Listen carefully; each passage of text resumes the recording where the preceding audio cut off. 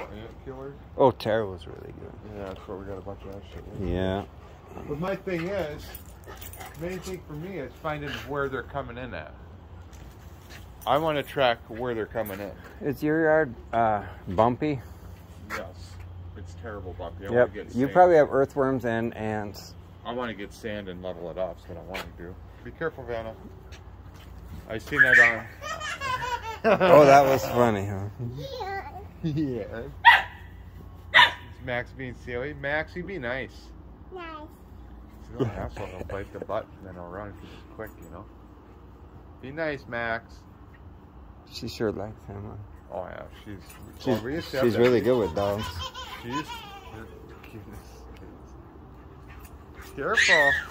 I've tried to explain to my mom, we meet a lot of very small children on our walks. Yeah. And he's very gentle with them.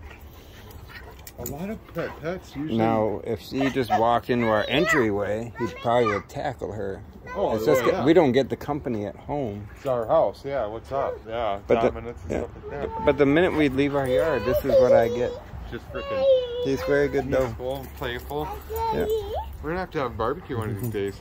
I'm gonna get a grill. I Oh, think. watch your knees, boy. I think I'm gonna get a grill this week oh, What did you do? because I threw my old grill out. and I'm gonna get a new grill.